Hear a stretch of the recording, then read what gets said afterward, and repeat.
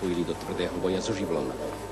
Na prekladacích staniciach stoja v rozmrazovacích tuneloch vlaky až 15 hodín, ale železničiari sa držia.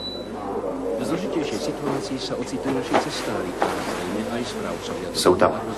Jako vždycky.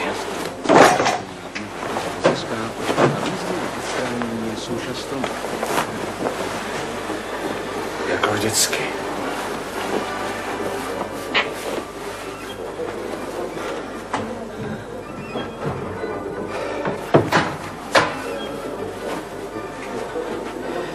ojalá no.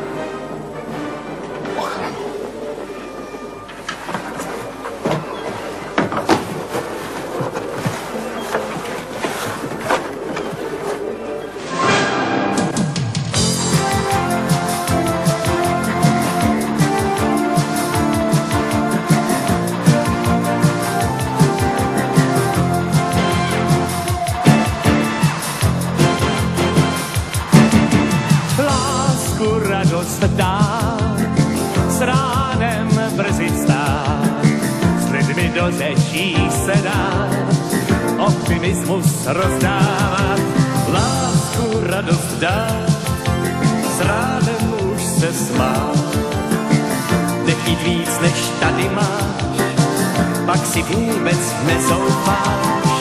Yeah, yeah.